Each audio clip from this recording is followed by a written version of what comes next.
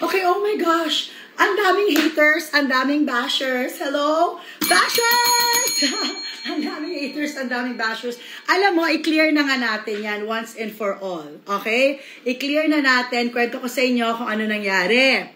So, nagpunta po ako sa Senate for the Eddie Garcia bill.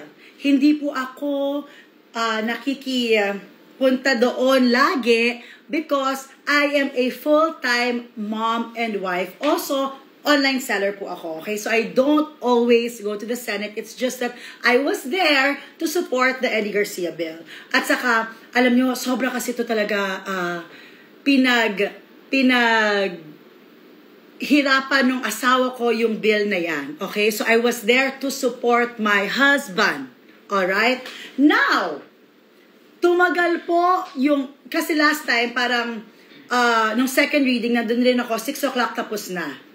Now, every week, every week talaga, I have a vitamin C drip.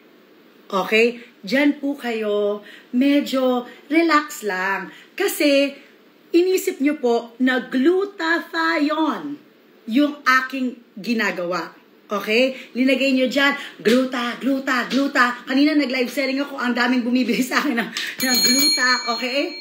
So, to let you know, para hindi kayo naniniwala sa fake news, vitamin C po yun. And matagal na namin yan ginagawa. Pandemic pa lang, ginagawa na po namin yan. Lahat kami dito, tuwing may nararamdaman, actually, never ko po intention na na mang bastos or whatever, my intention was to show that no matter how busy we are, dapat prina-prioritize pa rin po natin yung paglalagay ng vitamina sa ating katawan. Okay? I had no intention whatsoever to disrespect the the Senate or anything like that. Okay? It was never in my intention.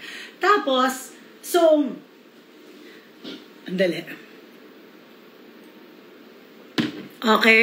And then, para sa akin, alam mo, honestly, in my head, I was in my husband's office. Okay? So, siguro, yun yung on my part, baka uh, nakita ninyo na hindi maganda kasi sa utak ko talaga, I was in my husband's office. Ganun lang. ba diba? So, I felt na safe place yon because opisina po ng asawa ko. Yun ang aking iniisip, okay? Pero, nag-post ako, kasi nga, hindi ko naman inisipan po ng masama, wala naman po akong bad intention kahit konti. So, ngayon, ako naman, pinost ko. Tapos, ang daming nag-react.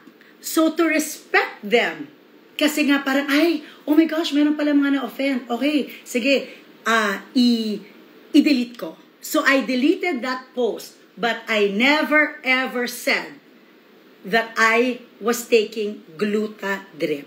It was vitamin C. Okay? All right? Oh. Yes, go! Bakit sa Senate? Because yung oras po, dapat yun talaga, may appointment ako sa bahay. And then, o oh, sige, mag-question and answer tayo. Naging press con yung live selling ko. Sige, mag-press con tayo. Okay. Kasi, kasi, Thank you, sabi ni Edenbog. Wag na po kayo mag-explain. Hindi sila worth it. Thank you. Ang toxic ng mga tao dito, sabi niya, wag, wag tayo ganyan. Maging happy tayo dahil maganda yung mga deals na ibibigay natin tonight. Okay? So, as I was saying, dapat, uh, may, yung trip ko sa bahay talaga.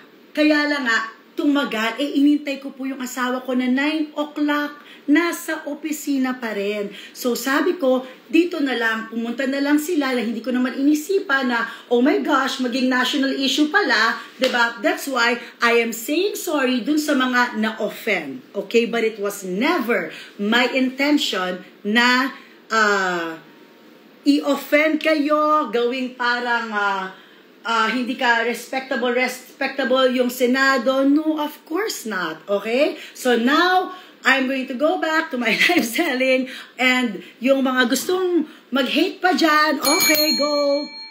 ba?